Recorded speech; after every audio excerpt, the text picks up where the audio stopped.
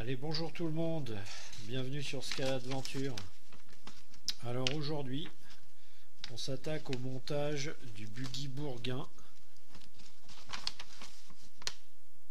Dakar 2002. C'est un kit club Rally Raid 43. Alors on va voir de quoi ça se compose déjà. Alors la petite planche qui a l'air euh, sympathique.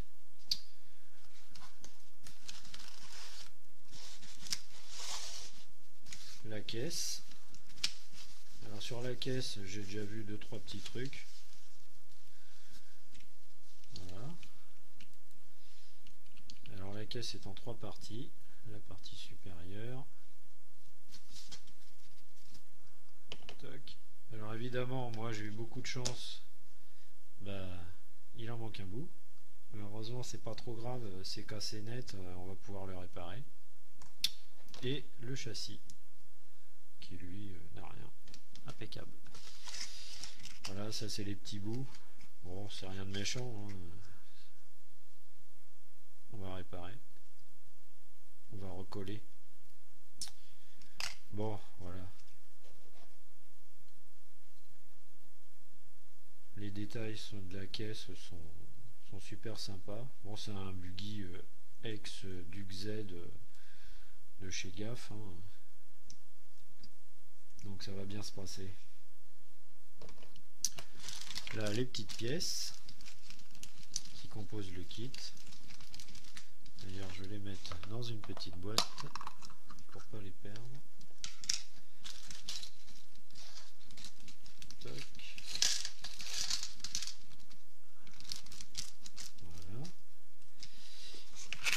le pavé de vitre. Bon, nickel. Hein.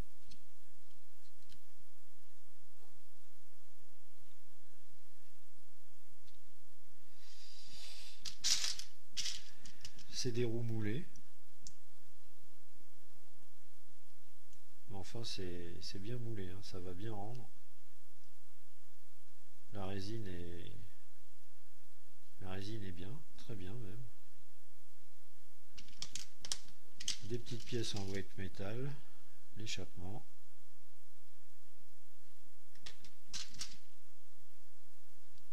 Voilà, si on peut voir le détail un peu.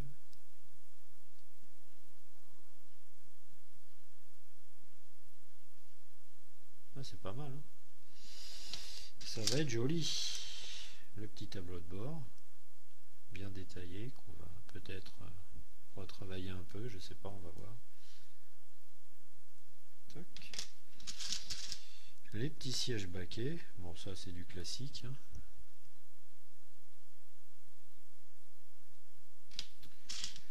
Le train avant, enfin une partie du train avant qui va être assemblée.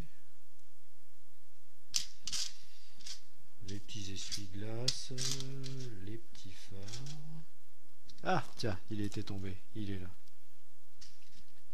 Je me disais, comme quoi. Et les flancs latéraux, parce que sur cette caisse, il y a une modif, il y avait des caisses qui avaient été rajoutées sur les, côtés. Donc c'est avec ça euh, qu'on s'est à plier et à mettre sur les côtés. Euh, ça vient se mettre quelque part par là. On verra ça après, mais Alors, première chose, on va déjà tout ébavurer, retirer toutes les pétouilles de résine qu'il y a à droite à gauche. Et puis voilà, c'est parti.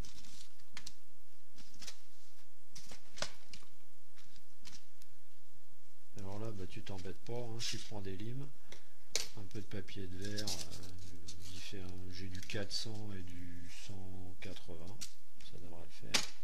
Allez, toutes les, toutes les lignes de, de moulage là, et puis après tu vas voir, ça fait un truc super propre. Ah bah tiens, Pink, tiens, celle-là elle est faite. Allez, en direct. bon, bah voilà, ça c'est fait. Ça commence bien. Voilà, vous allez voir tout ce qu'il faut faire et tout ce qu'il faut pas faire. Enfin, tout ce qu'il faut faire.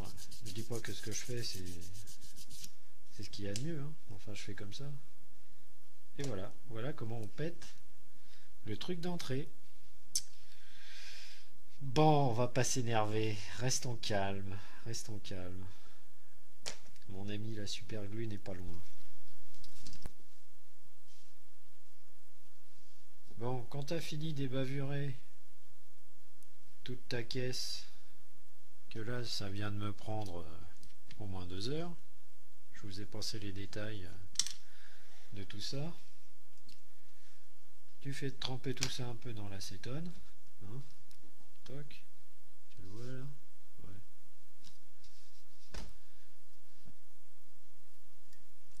Qu'est-ce que c'est? Attends, deux secondes, le chat veut sortir. Voilà. Je couperai au montage. Bon, j'en étais où? À l'acétone. Allez,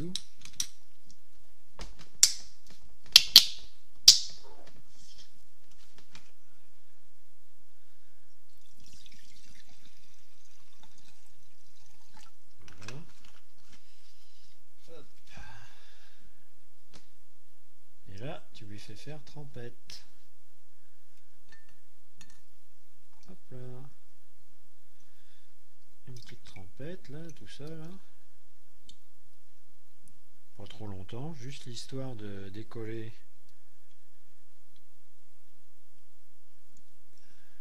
les résidus de, de démoulage et autres qu'il peut y avoir là-dessus certainement et de nettoyer la résine en surface.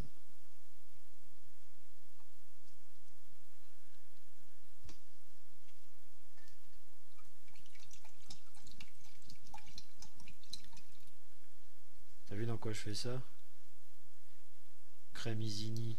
Putain, je m'en ferais péter le bide de ce truc-là. Tiens, regarde. Hop là. Voilà. Ah, merveilleux.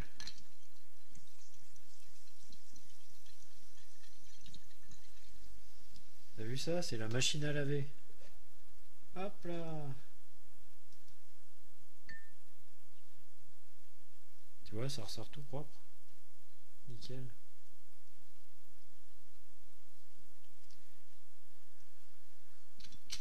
Euh, oui, allez, soyons feignants.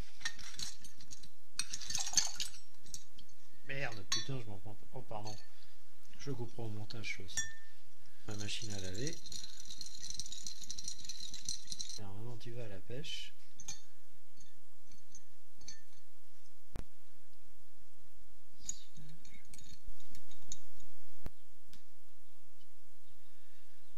Bon, alors là, on va s'attaquer au montage, enfin à l'ajustement des flancs. Voilà, c'est ces petits, ces petits trucs là. Alors c'est de la carte plastique. Alors c'était des coffres qui avaient été rajoutés euh, sur le véhicule parce que le, pilote il était tout seul dans la voiture et euh, je pense qu'il avait tout un tas de bordel qu'il mettait là-dedans. Donc euh, voilà. Alors, évidemment, il faut les ajuster parce que tu vois, ça, ça se présente pas bien l'affaire. Hein. Mais bon, tu vas voir, il n'y a rien de compliqué. J'ai déjà fait un côté. Tu vois? Ça fait chouette une fois que c'est mis.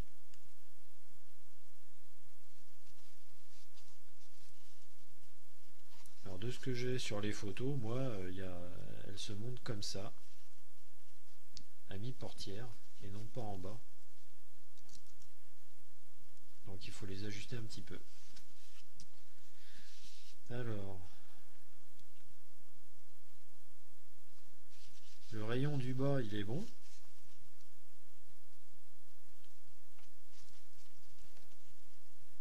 Là, ici, ton rayon, là, il est bon. Par contre, c'est celui-là là, qui est pas qui est pas bon parce que tu as les moulures de la porte là qui qui sont un peu embêtantes. Alors on va venir euh, croquer un petit peu avec la Dremel là. Et puis bon, voilà, ça va se mettre en place, il hein, n'y a pas de problème. Allez, c'est parti.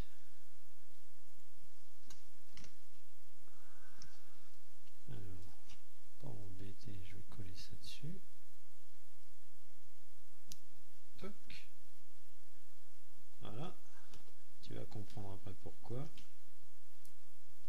La petite pince. Toc, comme ça je m'embête pas à la tenir. Là, pour être sûr de mon coup et de pas trop en enlever, je vais faire un petit trait.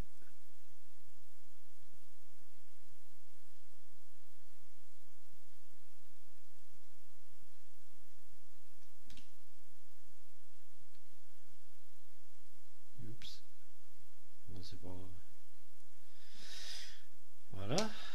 Donc déjà, ça avec la Dremel, bah, tu as déjà fait la moitié du chemin. Parce que l'autre, je l'ai fait en deux fois. Deux fois et demi. Allez. Hop. Alors j'espère que le bruit va pas être trop chiant. Hein. On va voir, je sais pas.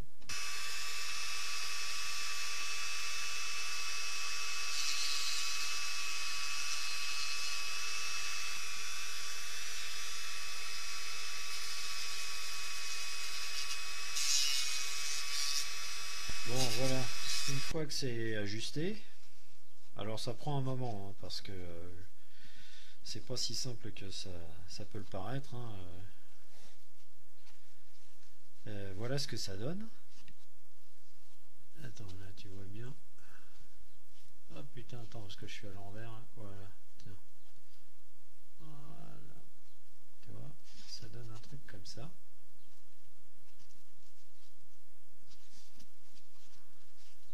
de l'autre côté. Hop. Voilà. Alors je me suis fabriqué un petit support en mousse parce que pour le pour l'ajuster c'était plus pratique. Euh, j'avais pas à tenir le, véhicule. Euh, comme ça j'avais mes deux mains de, de libérer. Parce qu'avec la Dremel en plus euh, c'était c'était un peu rock'n'roll. Mais bon, ça, ça se fait bien.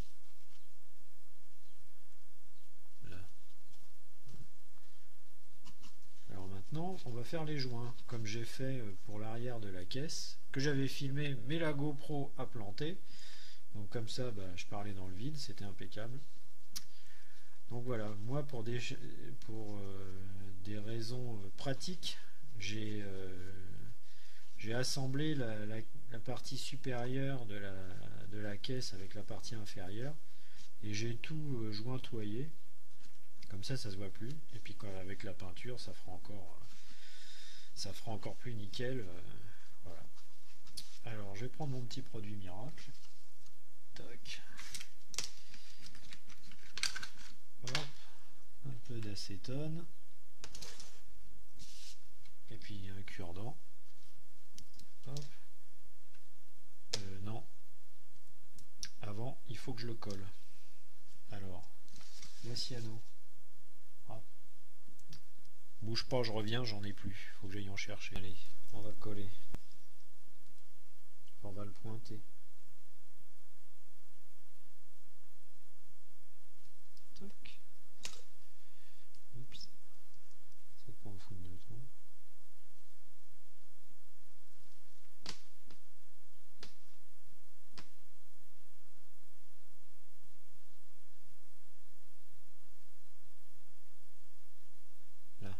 juste pour pas qu'il bouge une fois qu'il va être il va être collé je retire le scotch et puis voilà le tour est joué hein. après on passera au joint bon alors là on va faire les petits joints pour attraper les petits défauts allez un petit peu de mastic euh, magique. Allez, alors attends, viens là par là. Quoi. Alors. Voilà. Tu bouches les trous. Si t'en mets un peu de trop, c'est pas bien grave. Tu prends un peu d'acétone, un pinceau.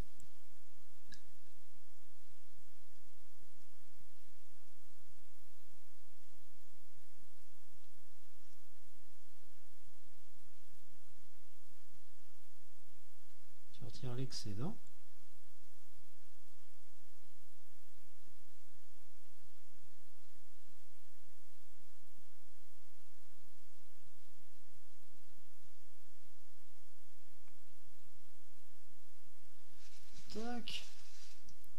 Pas trop mal ça cette affaire.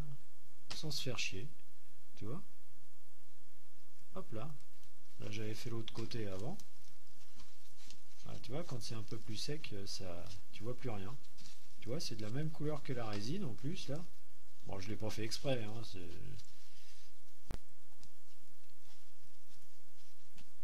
voilà ce que ça donne.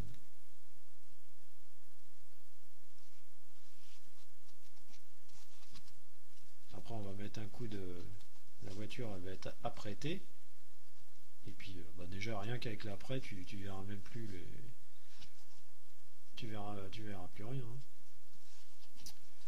Allez, on va faire la suite.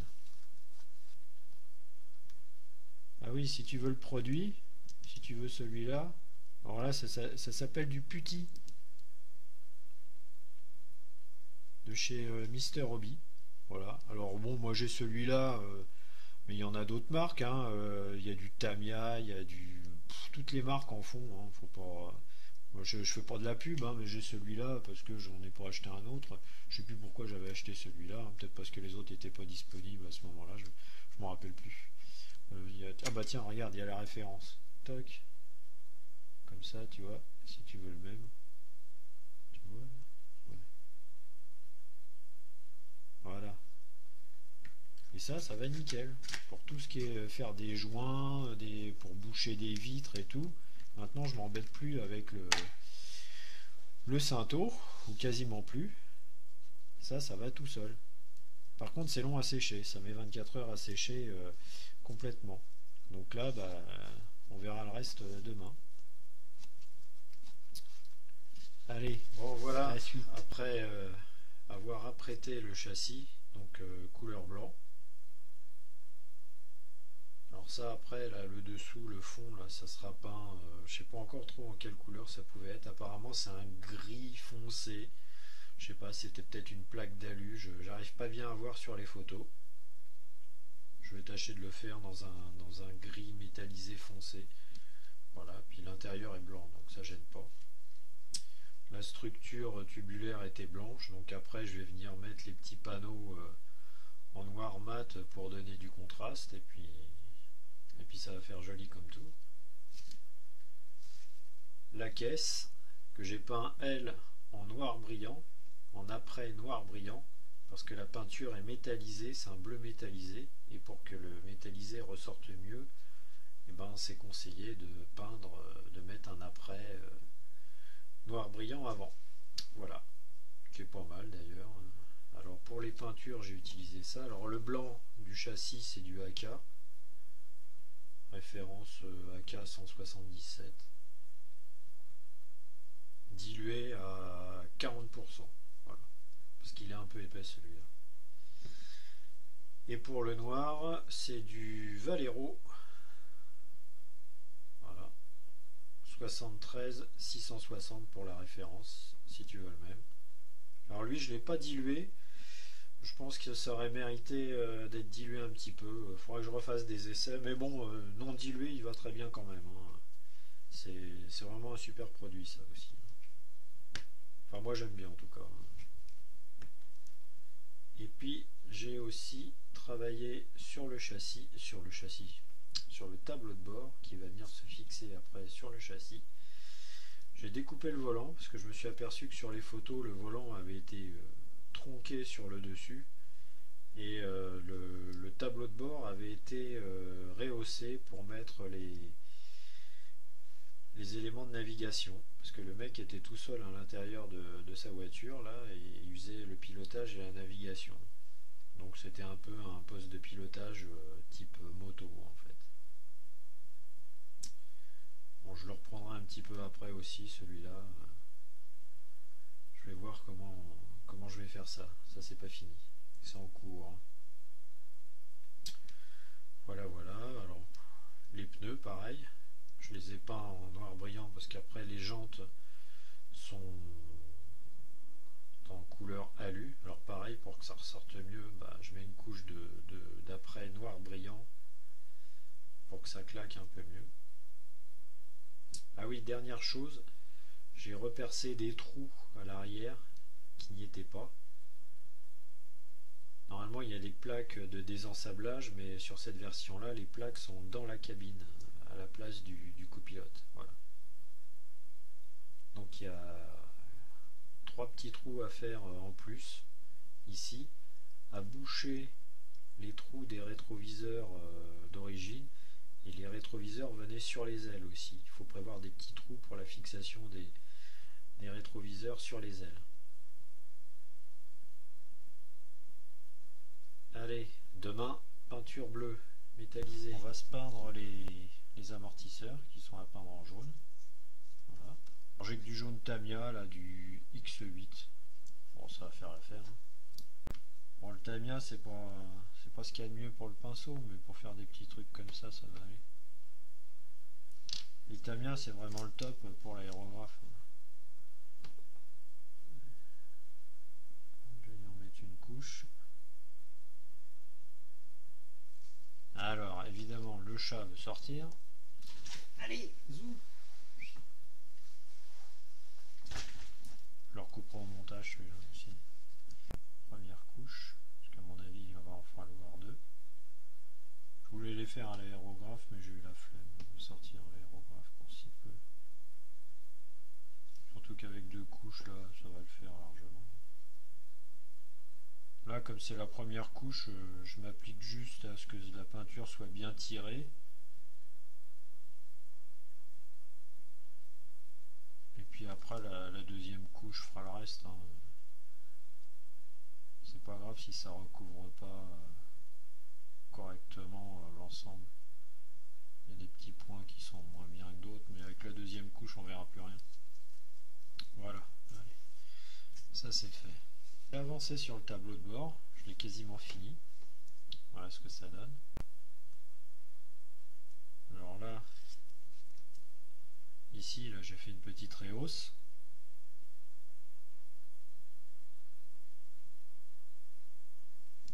Les instruments de bord, essayé de me rapprocher au plus près de, la photo que j'avais avec euh, ce que j'avais comme euh, restant de planche de décalque. Euh, voilà, après, j'ai été peindre, j'ai repercé les petits trous pour refaire d'autres cadrans là, pour les reprononcer un petit peu plus. Et j'ai coupé le volant, qui est coupé sur la voiture d'origine. Il reste 2-3 détails à, finir dessus là, plus je l'ai verni en, satiné. Ah, puis j'ai fait les jantes couleur alu que j'ai peint euh, l'aérographe. Et après je suis venu faire le, pourtour avec euh, une peinture que je connaissais pas que là je l'ai essayé. C'est vraiment pas mal ça, ça rend bien là. S'appelle euh, Rubber Black chez Aka franchement ça, ça rend bien hein, pour du euh, ça rend bien je enfin et puis pour le l'alu j'ai pris ça alors ça, l'aérographe, c'est vraiment bien. C'est déjà dilué et tout. Il y a juste à mettre dans le pétard et hop là, ça y est, c'est parti. Hein. L'aluminium, euh, ça porte bien son nom. Hein. Alors maintenant, toutes mes jantes qui seront alues, je les ferai comme ça et ça ira super bien. Là, c'est pareil, j'ai encore 2-3 détails à revoir sur les jantes, mais elles sont quasiment, euh, quasiment finies. Franchement, ça rend bien. Ça va faire chouette avec la voiture. Allez, on va s'arrêter là pour aujourd'hui. Ça fait déjà à peu près 20 euh, minutes, là, un petit peu plus même, euh, que vous m'entendez blablater. Ça suffit, je ne vais pas vous saouler de trop pour la première. J'espère que tout ça, ça vous aura plu. Si vous avez des questions, vous me laissez tout ça dans les commentaires, j'y répondrai avec plaisir. Et puis, tu vois, la suite, elle est là. Hein. Elle, est, elle est bientôt prête, bientôt finie. T'inquiète pas, ça arrive rapidement. Allez, à plus, salut, ciao ciao. À bientôt.